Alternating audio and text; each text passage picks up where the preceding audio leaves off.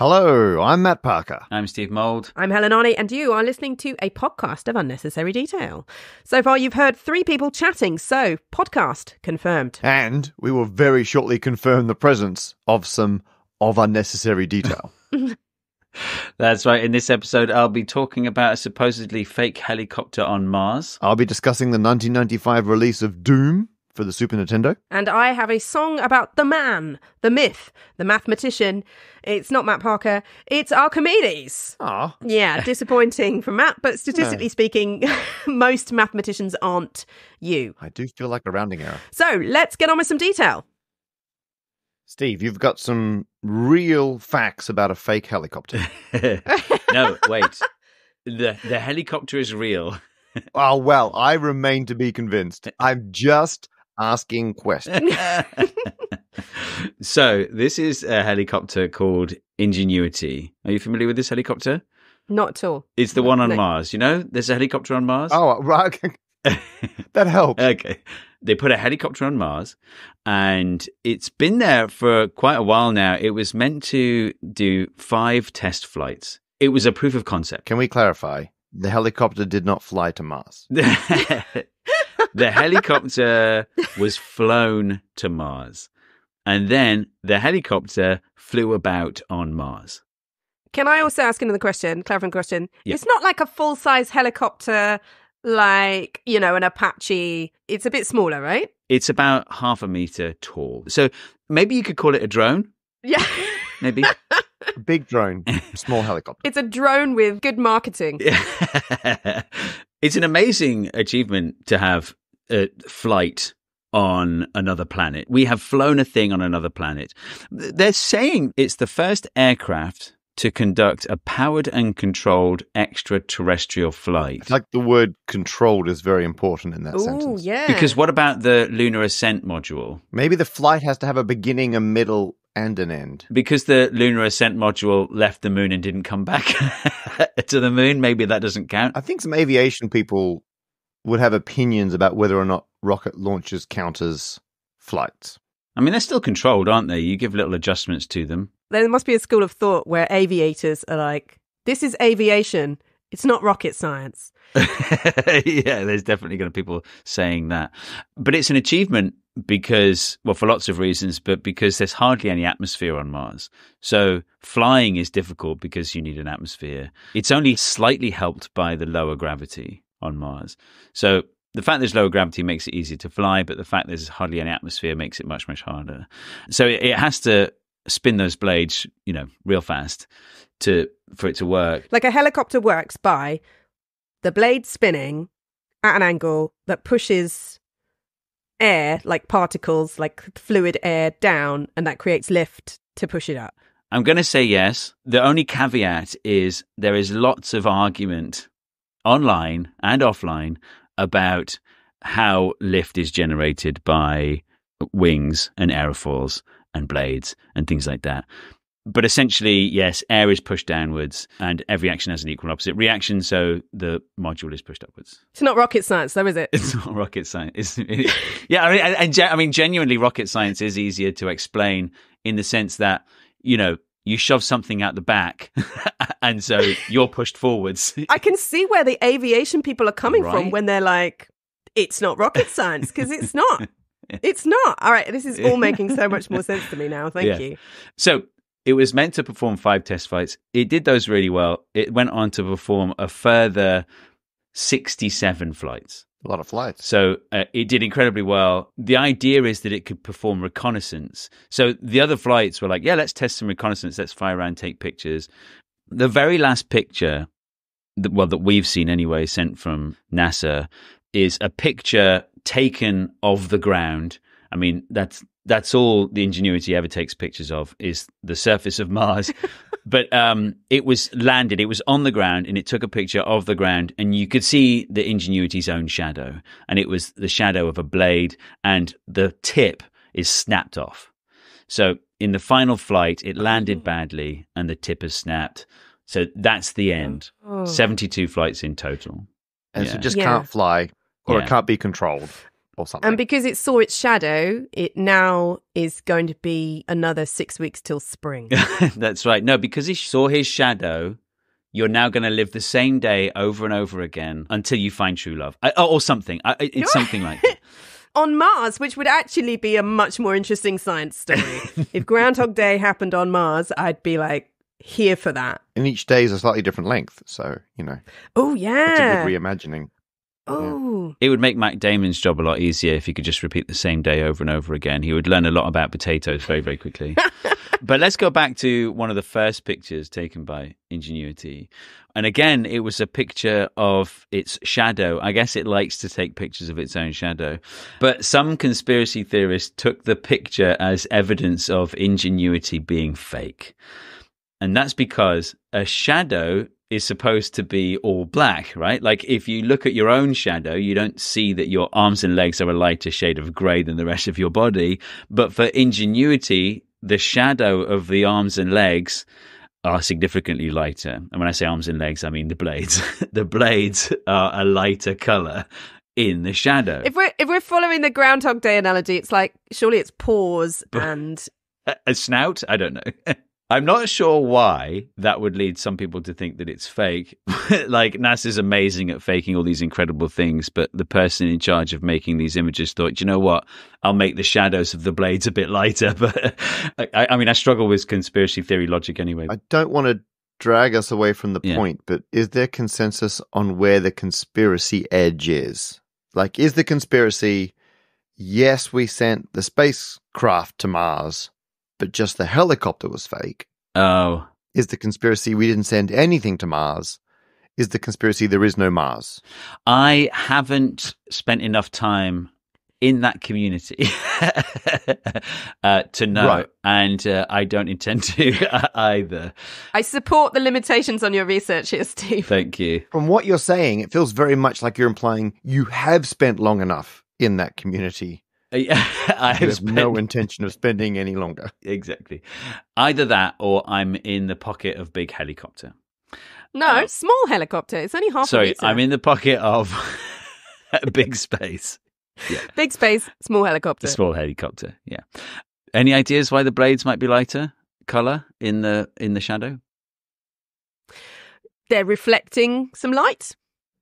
Oh, They're on an angle, reflecting light down. Mm. I'm surprised I got any traction for that. I'll be honest, 'cause I thought that was ludicrous. But the light would the light reflects off the blades onto the ground would spread out quite a lot. I would have thought Yeah. it'd be amazing if they just sort of lined up with the blades perfectly on the ground. the blades aren't super Yeah. shiny, parabola shaped, anything like that. No. Okay. Are they like the late 1990s release of the iMac in that they're slightly translucent? Ooh. So- no, they're not see through at all. No.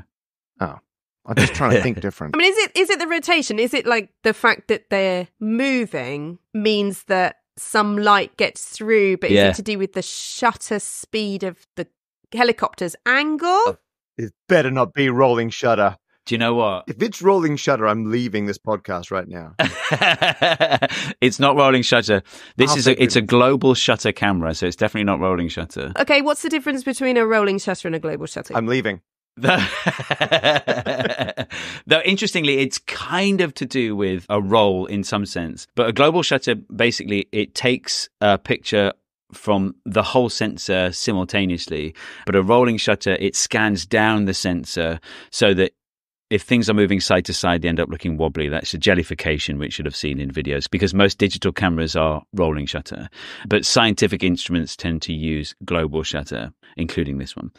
Also, like, um, it's made from like loads of off the shelf, all the sensors are off the shelf parts that you find in mobile phones instead of these like custom built things by NASA. So they're insanely cheap and you know industry has been miniaturizing these things for for years and years and years and they just work it turns out the answer is to do with how the shutter works on the camera. This is according to sam d'amico who worked on that module so it's a near infrared camera just like any digital camera each pixel is like a bucket that's gathering charge every time a photon lands in it now, it looks like that picture was taken with a shutter speed of about a thousandth of a second. In other words, the shutter is open and the sensor is collecting photons for just one thousandth of a second.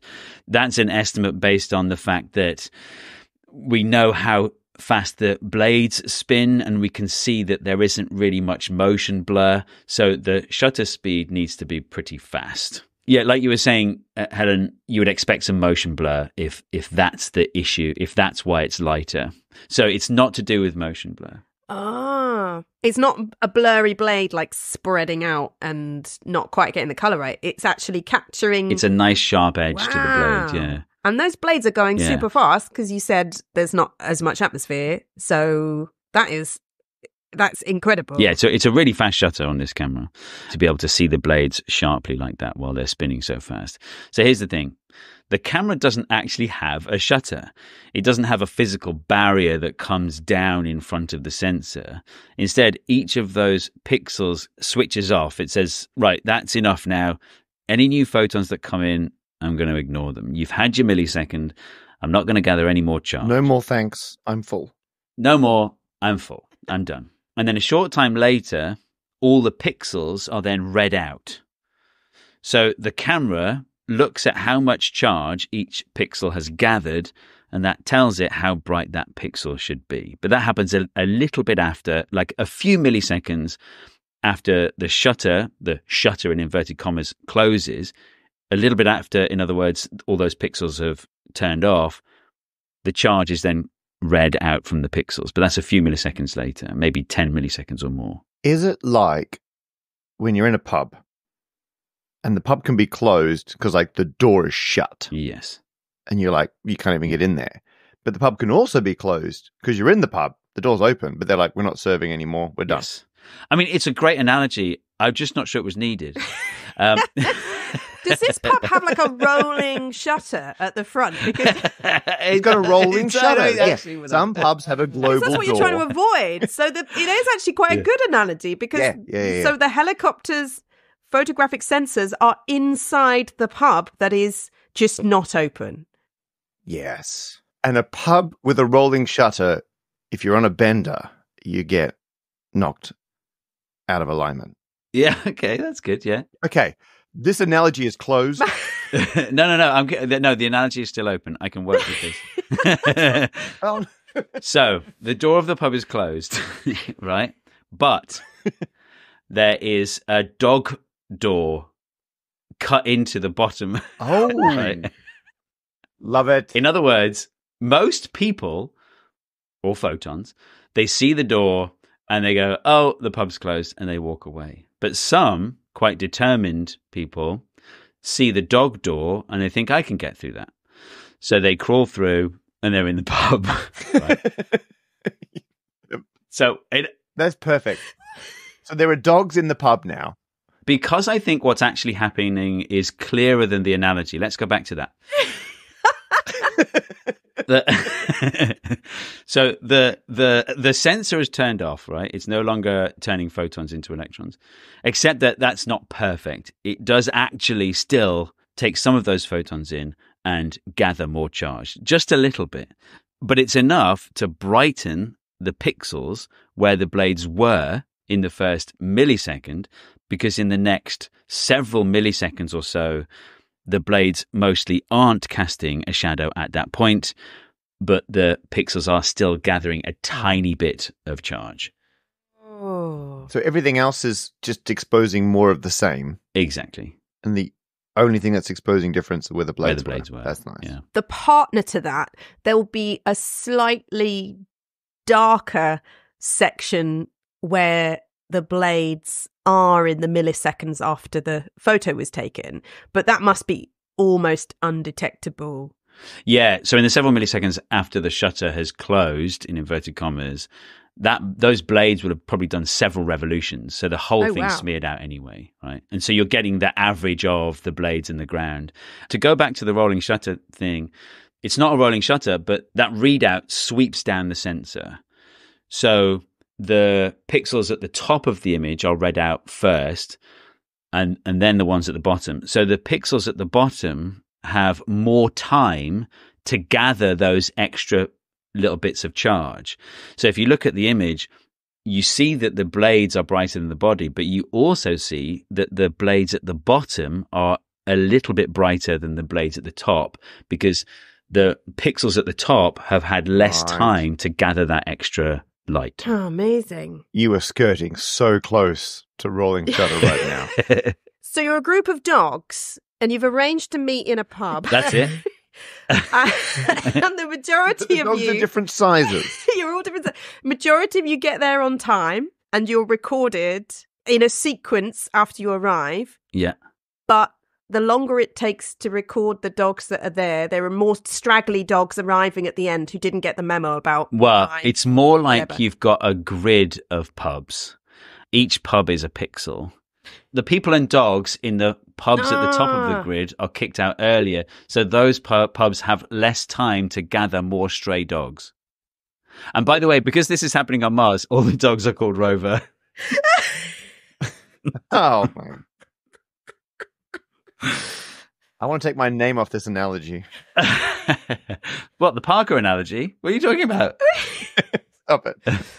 we got all the pubs with Yep. slightly different closing times, Yes. and we got the pups that go into the pubs with Yeah. the different closing times, and they're all called Rover. No, wait. All the closing times are the same, but the police officers that go round to make sure everyone's kicked out of the pubs, they have to go around the grid and they do it in order from Work to across bottom. town. Yeah. Amazing. The licensing officers uh, are in this analogy now. I love it. it's actually the Paw Patrol, but go on. Chase is on the case. That's all I'm saying. No, it's a helicopter, so it's Sky. Look. Okay. You're gonna be specific, Steve, this isn't Oh, well this is a podcast of unnecessary detail. We're gonna get the helicopter dog or nothing. On the tiny chance that hasn't cleared it up for everyone, I will say on YouTube, Captain Disillusion just did an excellent video about full frame and rolling read Oh, and all sorts of stuff with incredible visualization. So I, I can highly recommend that video to supplement the mental Yeah. picture we've painted here today. If it's needed. If it's it's Yeah. needed. And if you go to that video and comment about Not enough dogs. love this video, what- not enough dogs, that would make us very happy. okay. Okay. I think we need to wrap this up. Um, yeah. So there you go. It's not fake. So the Ingenuity helicopter is definitely real. Good. And it's done amazing things. And it's now. Is it instantly a relic? It's interesting, isn't it? Like it's Oh. an, it's going to become an ancient artifact that will be discovered, hopefully, Mm. by humans. in the. Ingenuity, the fossil. Yeah. Yeah. But it's got a bit of the Wright brothers' first controlled flight on Earth. Like they put a bit of the canvas from Ooh. What? th- that. The, the first aircraft that we flew on Earth is like stuck Ooh, under the solar. metafossil. So now it's a nested Yeah, artifact. So they have to That's take a small bit of it and put that on the first controlled flight the next one. outside the solar system, and then we just cascade up. or maybe the first flight back from uh-huh. Mars. Because there's never been a flight back from Mars, has that's there? Not from the surface, anyway. Where did they put this bit of the Wright brothers plane? Because if they put it on the wing, like I'm afraid that's probably the bit that fell off. So maybe oh, it's it's not the bit that maybe fell off. it's not such a good I'm idea. not sure that was a good idea.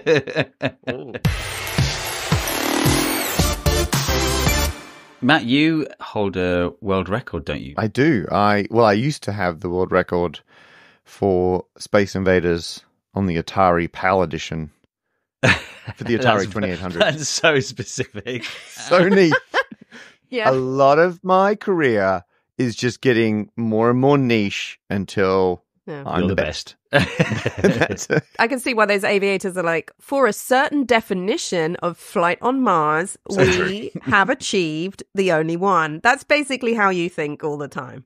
My motto is if you define a sport specifically enough, we can all be Michael Jordan. but you've been thinking about a different computer game this time. I have, I have. I've been thinking about the 1995 release of Doom, one course. of the most influential video games ever. Kind of kicked off, wasn't the first first person shooter, but really kicked off the whole genre of first person shooter video games in 3D, which is very exciting. Mm. And actually, do either of you know what the the biggest kind of legacy influence of Doom is in terms of technology today?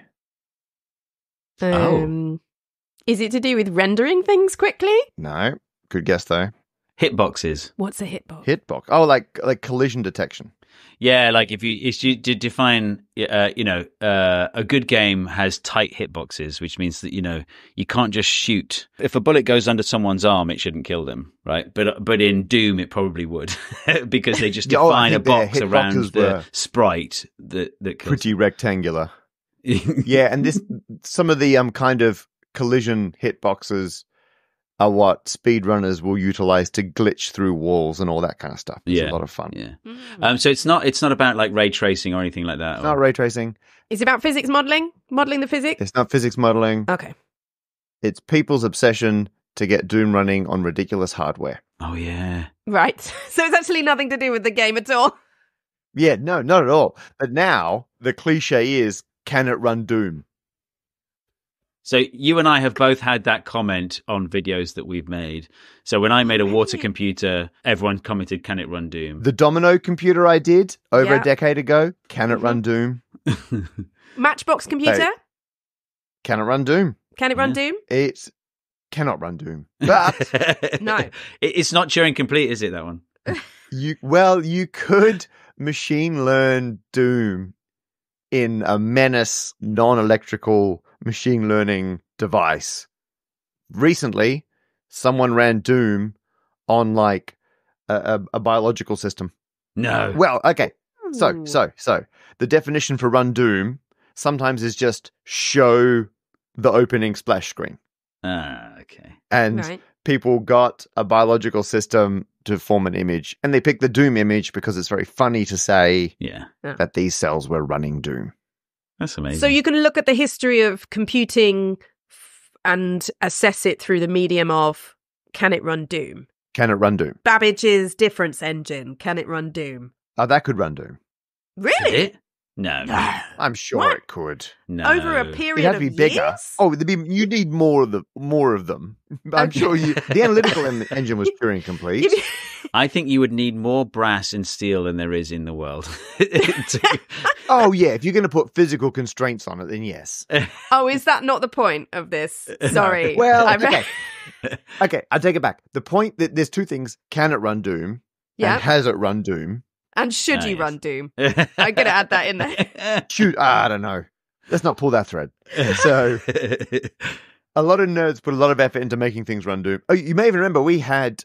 I'm pretty sure it was Andrew Taylor came to an evening of unnecessary detail because they had hacked their Roomba, oh yeah. and then they got the Roomba to play Doom live on stage. That's it's very amazing. funny if things can play Doom. Just to give me a sense of the parameters, like has anyone run Doom on a graphical calculator, for example? The TI-84 has run Doom. Wow, Really? that's amazing. Okay. The Zune, the Zune can The run Doom. Zune. Amazing. Yeah. Okay, I need you to lay it out for me because I this is not a world I'm familiar with. But right, you're talking about running Doom on a thing, a computer. What are the requirements? Can you list me the requirements of what it takes to, like, inverted commas, run Doom? That's a good point. So, if we go back to the original Doom, in the year was 1993. Jurassic Park. Well, was that 93? Anyway, producer Laura is nodding. It was 93. Amazing. The unnecessary detail is real. Yeah. and vague at the minute. So, Doom is released for computers, but you need a reasonably powerful computer to run it because some of the first like 3D rendered graphics, and before that, like Wolfenstein 3D, things like that were like two and a half D. Oh, I think even maybe Doom was a bit two and a half D because you've kind of got 2D sprites trying to move in a 3D world, but you need a reasonably powerful computer to run it because it's doing things in 3D. It claimed you could run it on a 386, but don't believe that. You'd need a decent amount of computing power to render the 3D world of Doom. Doom was then a very popular game, and so lots of people who didn't have a powerful computer want to play Doom. So suddenly, other devices or other systems are, and this was not for hilarious reasons, this is just for capitalism reasons, want to be able to run Doom because they're going to sell a lot of copies of Doom. Oh, right. That wasn't a problem for the original PlayStation that came out in 95 because it had an onboard chip. Well, there was a co processor in the main processor, but there was a whole separate bit just for doing the complicated mathematics required to do 3D graphics. And they would then be passed to the GPU that would then add all the textures and stuff. So anything that could do 3D graphics could run Doom. But then some of the systems that couldn't do 3D graphics still wanted to run Doom. And that includes the Super Nintendo. So the Super Uh-huh. Nintendo did not have a 3D graphics card. You could put a extra chip in the cartridge. So for people who don't remember the old days of video games, you'd have a physical chunk of plastic with Oh, a yeah. board inside it, and you'd have to shove that into the top of your console. And normally it just had data, but you could be very clever and put an extra chip in there to help do some of the mathematics. We will provide imagery in the show notes for anyone unfamiliar with 90s computing. From computing. the way back times. That's amazing, isn't it? To think that that was going on. People were making games, but they were including a little bit of computational power in the thing. Yeah, it's, it's crazy, isn't it? But it worked because you're shipping a physical item with the game code on it. Why not put? I mean, it puts the price up, but you could put something in there. And you know what? It's worth remembering how amazing this was at all, because for a long time, these sorts of calculations, like all the trigonometry required to do this sort of 3D like geometry, was super difficult to do because trig functions, which I love, and humans have been using for millennia are a real pain to calculate the values of. Let's say you want the value, the sine of an angle. You know, well, how do I how do I actually get the value of the sine of an angle without like drawing and measuring a triangle is not going to cut it. You start with the value of the you get the angle in radians. You subtract that value cubed divided by 3 factorial. And then you add the angle to the power of 5 divided by 5 factorial. And then you subtract the angle to the power of 7 divided by 7 factorial. And then you've got to alternate adding and subtracting the odd powers of the angle divided by that odd number factorial. And, and these are difficult calculations to do by hand. That goes on forever. That sequence That goes, goes on, on forever. forever. But each term gets less and yes. less. So you you decide how many decimal places you need, and then you do as many terms as Yeah. required to get to that level of precision. And because this was so annoying to do, no one wanted to do it from scratch when they needed a trig value. So that's where these kind of log tables, like books, that as well as log values, would have trigonomic values in them. So you'd have a big solid book, Ah. and you'd have to look up the angle in the book and then read off what its sine value was. I'm uh, calculating exactly how many of our listeners will be rewinding this podcast 60 seconds to listen to that explanation again to have another go at it. okay, I'm going to see if I can say it back. I'm going to add some uh, musical accompaniment while you're repeating. Okay. So, if someone wants to calculate the sine, cosine, or tangent of an angle, then they have to do this infinitely long calculation, which is a sequence of, you know, so if it was like the sine of x, then the sequence is x to the power something divided by something, plus x to the power something bigger divided by something bigger, minus x to the power something bigger divided by something bigger, plus x to the power something bigger divided by something bigger. And this sequence goes on forever. In reality, you don't have to calculate every single term in this infinite series to work out what the sine of x is. You just have to work out the first few, and then you've got the answer to some number of decimal places that you're happy with. And a calculator would stop once the screen is full of, of digits. Um, That's pretty good. yeah, does that The sound about music right? was nice. I would have been happier if you'd set it in a pub, but the explanation was otherwise very good. There's some stray dogs, and they're sitting in a triangular arrangement that forms a right angle. And perfect. Now you're talking. Some of the dogs are acute, so that works. okay, The point is, people would pre calculate these values, write them all down, so then if you needed to use one, you just look it up in the book. Finally, we invented computers and calculators, things that could do this automatically. So instead of having to pre calculate it all, you can just, as Steve was saying, do enough terms for the number of digits to fill the screen, and then you're away. And that's why we suddenly were able to do like 3D video games because we could crunch these values and calculate all the angles and distances and sizes and everything to render realistic, realistic 3D environments in on mid 90s level top end computers. Without having to look them up in a book. yeah, you pre-render it. Amazing. Yeah. So you do it firsthand with the extra computing power. So you could do it with less computing power, but lots Yes, more time yes. to do the lookup stuff. You you got that exactly right. And in fact, when they were trying to work out how to put Doom on the SNES, the Super Nintendo, the developer Randy Linden did that. They realized even with the extra chip in the cartridge, it wasn't going to be able to do the calculations that would be normally done on the PC.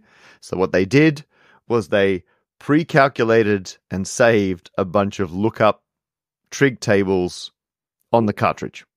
The second biggest file on the cartridge. Amazing. Ah, so they did. They did exactly that. They compensated for the less calculating power by putting in like a little lookup book. Did it slow it down? Was it really clunky? Well, looking things up is quick, isn't it? Lo- Lookup is quick, but the trade-off is hard drive space or storage Oh, yeah. space because doing the calculation doesn't require any data to be shipped with the game. But if you do the table, Uh huh. you can have a low power processor running it, but now you need a bigger storage thing. So it's a constant trade off. And surely there's a possibility that you haven't got the number you were looking for, or something can go wrong.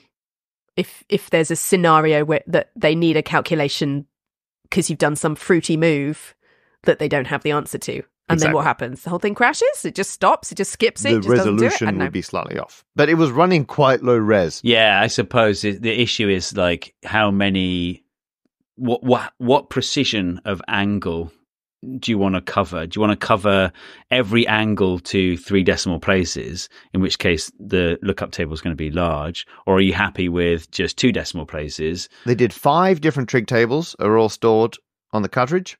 They had sine, cos, and tan. No surprises there. They also put in arctan because it's it's handy to go backwards and forwards from gradients to Mhm. angles. So arctan super useful.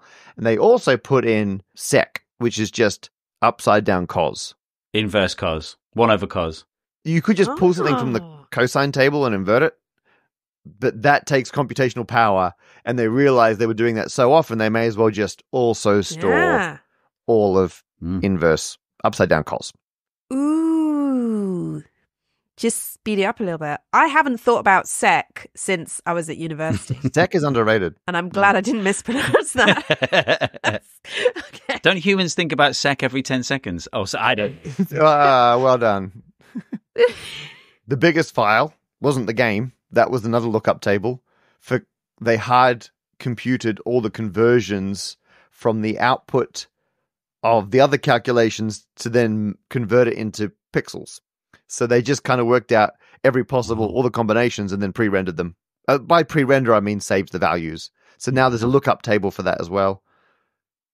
The third biggest file was another lookup table. Wow. They pre calculated a bunch of line of sight calculations and put that in. So they're just finding all the difficult calculations and doing as many of them as possible for as much space as they could possibly fit around the actual game itself on the cartridge. So there's stuff we use that relies on log tables now that we don't even realize. Yes.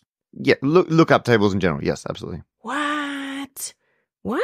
So when I was writing about this, oh, I was in my book, Love Triangle. We're officially announcing pre orders on the 29th of February. I thought it was very funny to put it on the, the leap day.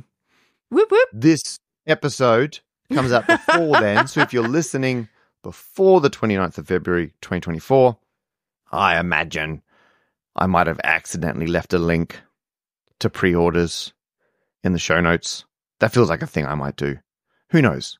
I, I can't I can't officially say one way or the other. I mean, it definitely feels like something I would do, but It That's does. 'cause- does- Actually, you know it does. yeah, nothing to do with you, So- Matt.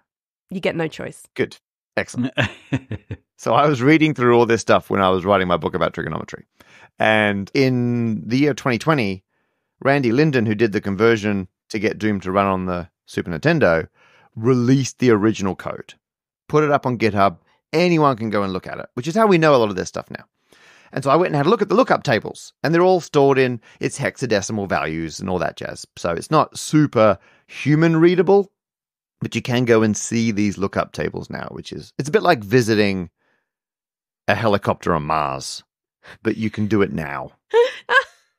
so I went through and looked at them all. I thought, you know what? It's one thing to read something and think you understand it, but doing it is also very helpful. So Mm. I thought I would see if I could also generate the tables. I did that, and they didn't match. Oh. That's weird. Ooh. Randy wrote the original code that generated the tables that then went on the cartridge in C. I was using terrible Python code. I was like, oh, it's probably my terrible Python code. So I dig into how I was doing it, and I'm like, oh, wait a minute. And I kind of forensically reverse engineer how Randy must have done it. And I'm like, I think they made a mistake in the way they were handling the rounding because some of the values were rounded the wrong way. I was like, oh, wait, they're truncating instead of rounding. Mm. So I email Randy and I can confirm two things now. Number one, I am the first and potentially only person who's emailed Randy to ask about the mathematics behind Doom running on the Super Nintendo. and secondly, yes, he checked. He sent me a link to his original C code, which is also on GitHub, for how they generated those tables. And he confirmed, yes, they were rounding them the wrong way. I I genuinely found and I'm going to use mistake or error. It's a choice. A choice, choice. Because Randy worked out the extra line of code that would have to go into the original code to fix this. So it is one more line of code. Ah. But this is not the code that goes on the cartridge. This is the code you use in advance. So one extra line probably doesn't matter because this is all being pre rendered. They did point out, however, and I'd like to quote them, that the error isn't noticeable considering the resolution of the game. So, so I think that both confirms there was an error yeah. and points out that it doesn't matter. I'm surprised you didn't just reply saying this version of Doom is no longer supported. Also, it's on GitHub, mate. Why didn't you just make a pull request? You could have. You could have. I should have. you just I'm not, it. I'm not that good at coding, mate.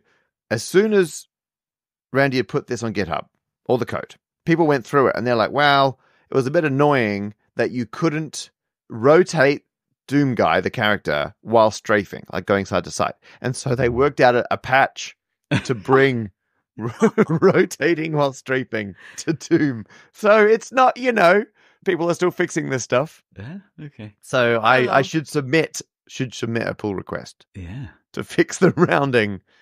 Amazing. That's the kind of mistake I like to find. Interesting but inconsequential. So it's very- to quote the rest of the email from Randy, after pointing out it doesn't matter, Randy says, but like all programs, there is room for improvement. So you want oh, Very nice. like everyone, like all of us. Yeah. That's a nice moment.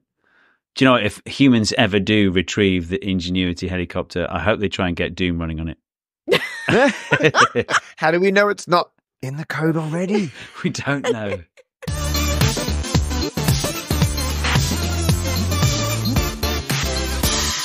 This episode is sponsored by Brilliant.org. Here's something I figured out about my weird career.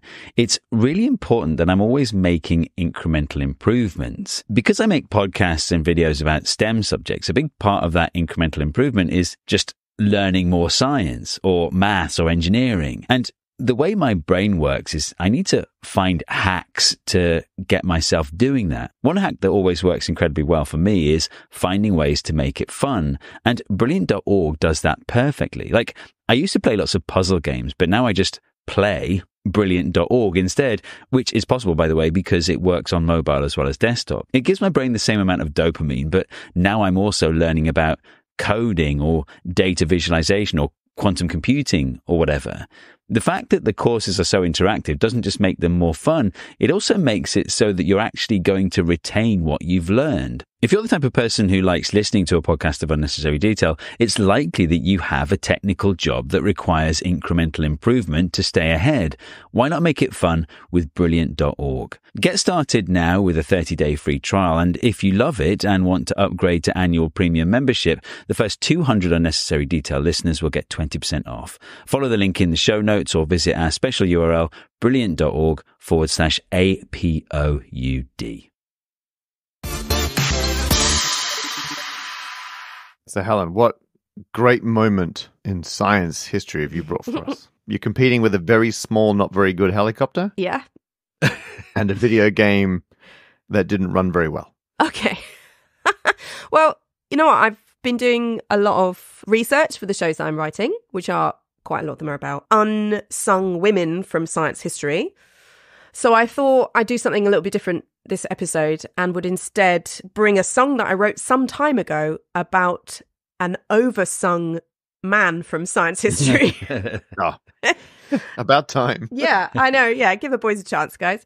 And the reason I've picked it up is because I, I recently was working on a show with the BBC National Orchestra of Wales, which at some point may be going out on BBC Six Music, we've no idea, about Archimedes. You cannot underestimate Archimedes' contribution to mathematics and science. Ancient Greek mathematician, came up with the most extraordinary theories and ideas and explanations for physical and mathematical ideas that cover all sorts of different topics from engineering to like pure maths to physics, like amazing contribution to the sciences. And yet he is constantly overestimated in the stories that get told about him, I right? think he had enough to his name without needing to embellish it over the centuries. He squared the circle. He invented ways of Yeah. pushing water uphill. He defended the city of Syracuse from attack for decades. One of his best mates was like the king, and he was his advisor. Like, I mean, the the guy is phenomenal already. He's so phenomenal that when Syracuse finally was invaded, the invading Roman general put up a monument to Archimedes Wow. the scientist who had kept him out of the defended city of Syracuse for so long because he was that impressed by what he did. And yet, like so many bits of myth have accreted to this person. It's like you, you get some good stuff to your name, and suddenly everyone is throwing every possible extra bonus amazing thing at you. It's possible, but unlikely that he ran naked through the streets of Syracuse Yeah. because he was sitting in his bath. He saw the water level rise. He thought, this is how I'm going to solve this question about buoyancy. He did come up with these incredible theories about buoyancy. Like he came up with the entire concept of how things float. He did some incredible equation work on that. But it's very unlikely that he did it while sitting in his bath and then ran down the street naked. but that's such a good story. It's such a good story. Do we know the origin of the word eureka? He just shouted a random word according to the myth. I thought it was a pre existing Greek phrase, meaning I found it. So it doesn't mean I'm naked or, or, or it's not Greek for God, I'm cold. Yeah. or something. yeah, yeah. It's Greek for no photos. It's. Can someone look it up? Yeah. Like I. oh, so it turns out I don't know how to spell eureka. oh. Uh, Double O R E E. No, what does it mean? oh, it, it comes from the ancient Greek word meaning I have found brackets it. Oh. And next to it is a picture of a man in a bath. Do you see what I mean? Yeah. It's impossible to escape. So much of what Archimedes did is in letters to his like colleagues and friends at the time, but so much of what people now think of as Archimedes did was written like 300 years later, 600 years later, like, uh, hundreds of years later. People went, "Oh, look, there's all these amazing stories about the ancient Greeks, but we're not totally sure they happened or who did them. So let's just give them all to Archimedes because everyone loves Archimedes already, and you know great. he can." We can just load all of the capacity for myth making onto this one person. So, you know, They're the null island of legend. yes. the gravitational pull of Archimedes pulls in all all the legends. He probably didn't invent like a solar panel death ray out of a parabola that focused the heat Love of the sun to explode a ship some miles away. Probably didn't do that. He definitely wasn't the first one to invent the Archimedes screw. Did he lift a ship out of the water using a massive lever? I mean, it seems outrageous, but then also some of the things he actually really did that we do know about uh, seem completely outrageous and seem impossible. Like, there's a thing called the claw, which is this machine lever thing that used to smash ships into pieces when they tried to invade in the harbor. Like it, it's something like it might have existed, but it probably wasn't as effective as all of the stories say. But the fear of it was because there's this whole story about how, like, when a ship coming into the harbor saw like a little bit of a rope emerging over the top of the barricades, they went, Oh, we better leave, guys. The claw's here. Claws the- here. Just the fear of the claw, the contemporary fear of the claw is enough. Next time, gadget. Maybe part of the reason he became famous for all these things was for sort of propaganda reasons. Yeah. You know, I mean, they've got Archimedes. He's invented another thing. You the know, military would make things up to advance their cause. who, who am I to say what really happened? I mean, there's a lot of science historians who will tell you what happened. The song that I've written is part of a whole show I wrote a long time ago, never quite finished, called The Time Traveling Coffee Shop, in which I take loads of these science myths, things that didn't quite happen as people love to tell the story now, like Archimedes jumping out of his bath saying, Oh, I've discovered buoyancy, and running down the street naked. Stories like that, and others, like Schrodinger and his childhood obsession with feline pets and their sad demise. Like there were a lot of things like that. So it's kind of taking all of these fictional stories that are rooted in real science and putting them into a time traveling coffee shop. Which again is something that doesn't exist, but if it was a time traveling coffee shop, it would explain why their lattes are so expensive. So it, it actually made quite a lot of logical sense at the time. So I'm going to do that song and we're going to try and do it live while I've got a cold, which is going to be fun as well. But there is one thing that as I was doing all of this amazing research on Archimedes, there are so many things that he did do that were just extraordinary. And one of them that I've never really investigated before, never really thought about, never really felt like I'd actually got locked into my head was his approximation for pi, or one of his approximations for pi. And this is really interesting because, Matt, you approximated pi yourself. by hand. Do you want to tell us a little bit about that?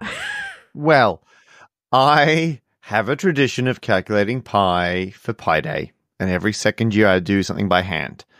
This time I thought I'd see how many digits it's even possible to do, and so I got 400 volunteers to come and do long division.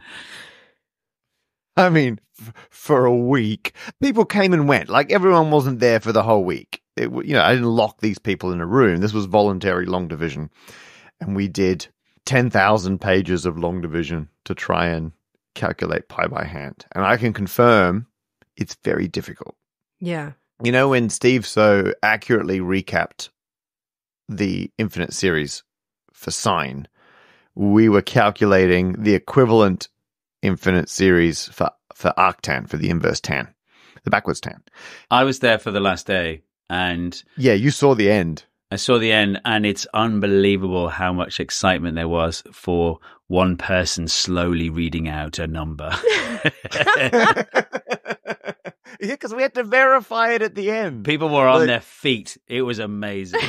Ah, digit by digit. Yeah. The room was electric. In 300 years' time, they will take this hand pi calculation and frame it as 400 people running naked down a street or something. It will, it, like, it's, it's exactly So what I'm talking about. Like, it sound, what you've done sounds so ludicrous already that an extra bit of ludicrous Good point. when someone uh, talks about it in 300 years won't really go amiss. It'll be like, sure, fine, no worries. Until now, I didn't realize it's a good point. I haven't gone on the record to say I wasn't naked at the time. I did run a bit and yell a little, so I can see how that might. Yeah. I'm know. thinking about going on record to say you were naked at the time. yeah, I think we all want that. We all appreciate finally a first-hand contemporary account. Your abuse of being a primary source, Steve. Matt, you calculated with the help of about 400 people like an, a series of Yes. calculations that eventually ended up with an approximation A of big pi. series that approaches pi. I'm dancing around saying how successful we were because the video isn't out yet. So Mm-hmm. Okay. if people want to wait until the Monday before Pi Day, which I think is like the Mhm. 11th of March, the Mm-hmm. video will be on the Stand Up Maths YouTube channel. You'll be able to see Steve express no opinions about other circle constants. And you'll be able to see First of all, how many digits we calculated, and then how many of those were correct, and confirm whether or not I was wearing appropriate attire. So, like, that sounds like a a total mess. And Oh my I, goodness, I yes. want to try and describe to you Archimedes' approximation of pi because I hadn't really looked at it until I had to do this research for this Archimedes show. And it's just amazingly elegant. And I just think it's a really beautiful thing to visualize as well. Okay, so first up, why was he trying to get an approximation for pi? Not for views on his niche maths YouTube channel, I will tell you that for nothing. Uh, it's because no one had actually got a handle on the actual true value of pi at that point. Like he was holding back mathematics in a way that I think is quite hard to get your head around nowadays because we all know pi. We know what it means. We know what it implies. We know what to use it for. We know what it's like. Like that it goes on forever without repeating. You can't describe it as a simple fraction. That it's so fundamental to our universe that it it pops up in all sorts of unexpected, weird equations in maths and physics that don't seem to involve circles at all. And the ancient Greeks, they just didn't know any of that, but they knew pi was important and they wanted to work out its exact value f- for reals. And yes, you can and they could get a pretty good practical value for pi by drawing a circle, using a tape measure or something like that, because pi is basically the circumference of a circle divided by its diameter. So you draw a circle, you measure the circumference, you measure the diameter, you divide one by the other, and you've got a pretty reasonable version of pi that you can use for construction, engineering, general day to day usage. But that wasn't good enough for mathematicians like Archimedes. They wanted the actual number, not something that was like good enough. They wanted to achieve it using geometry and arithmetic, not by falling back on anything crass like a tape measure, which is so practical and real worldy. Blech. Okay, Archimedes got a circle. So then what Archimedes did is put a triangle inside the circle, like so exactly like snugly fit, a triangle snugly fit inside your circle. Because you can calculate the lengths of the sides Straight lines. of a triangle, right? Easy Straight peasy. lines. Piece of cake. Easy, easy peasy. Pythagoras had a few words about it. Yep. You can work it all out. It's easy. So then you take the triangle, right? And then you double the number of sides. So you turn it into a hexagon. And then that fits a bit more snugly. And yet you can still calculate the lengths of each side and add up the length of all six sides using not just numbers instead of using measurements. And you're like, oh, I've got something that's a little bit closer to the circumference of a circle. Right? That's good. So then you double it, double the hexagon to get a dodecagon. So 12. 12 sided shape. And then you double it again Oh. to get an icosatetragon, Uh, 24. Which is 24 sides. So it's starting to get really snug, like Yeah. really snug on that circle. And you double it again to get 48 sides. Matt, do you know what that is? That's a 48 agon. yeah, no, that's, yeah, okay. I only know because I've got it written down, mate. It's a tetraconta octagon. nah. In contemporary language, it's 48 gone, whatever. Then you double it one more time to get 96 edges. And that is super duper snug and is an Enneaconta hexagon. Come on. And it's basically indistinguishable from a circle. Depends where you're standing. A 96 sided shape. it's snugly fitting inside a circle. You can calculate all of those little tiny lengths and get a number that is just under the circumference of the circle. And you can get it by arithmetic means instead of by measuring it with a tape measure, right? Very clever. Is pretty smart. So there you go. You've got a calculated number for the circumference of the circle. You've got a calculated number for the diameter because you're using that all the time to work out how big this Enneaconta hexagon is. And that should give you a value of pi. And that's kind of smart. And you know that pi then is going to be slightly under the real value of pi because the Enneaconta hexagon is slightly smaller than the circle. And most people would be like, that'll do. Good enough. We'll leave it there. Pretty close. Archimedes didn't stop there. He did exactly the same thing again, but with a triangle on the outside of the circle.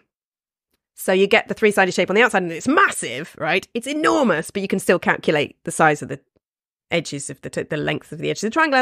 And then you do the same thing. You make it a hexagon, it gets a bit smaller. You make it a decagon, it gets a bit smaller. You make it into this 96 sided shape. And then what you've got is like this this 96 sided shape just outside the real circle and one just inside the real circle.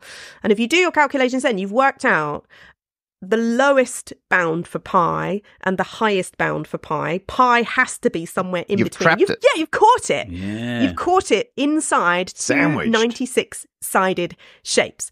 And for me, that is like a beautiful piece of ingenuity and thought process. Right. And this was so powerful. It managed to get the value for pi was somewhere between three and 10 seventieths and three and 10 71 Oh, ten, right, What, hold what are those as numbers?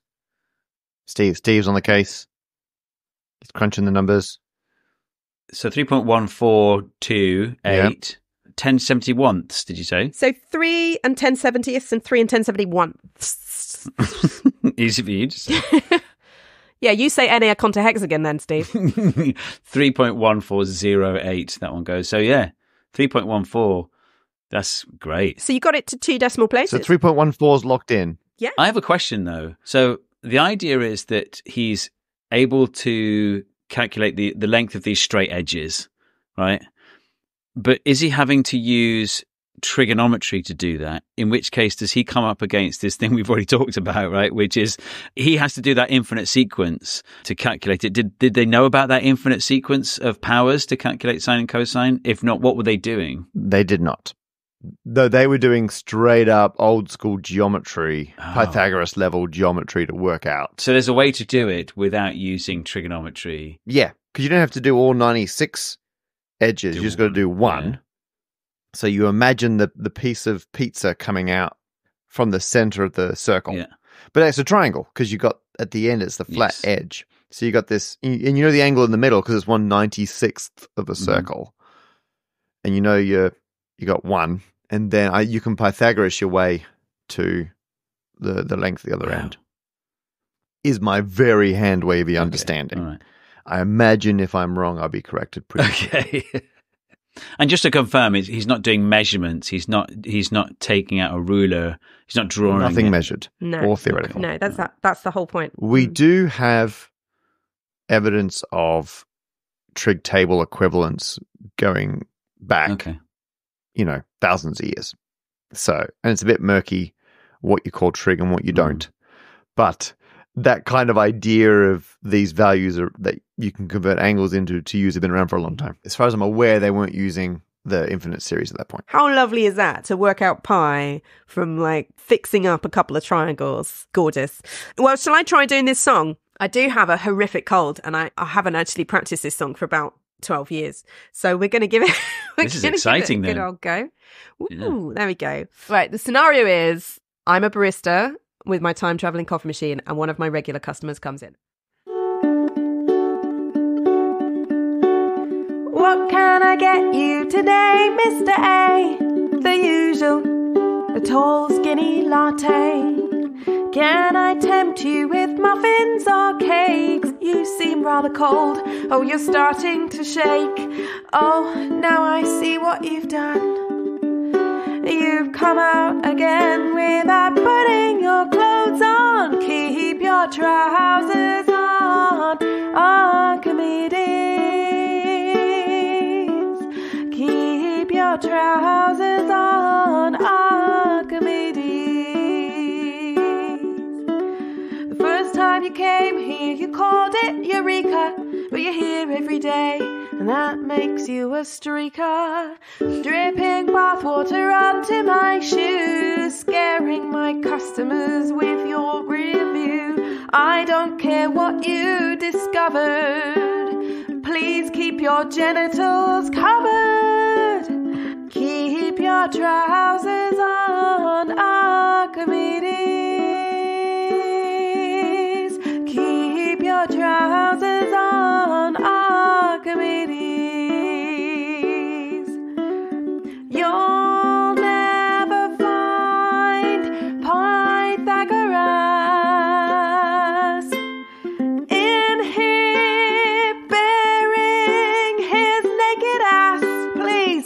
middle class, our front windows are glass.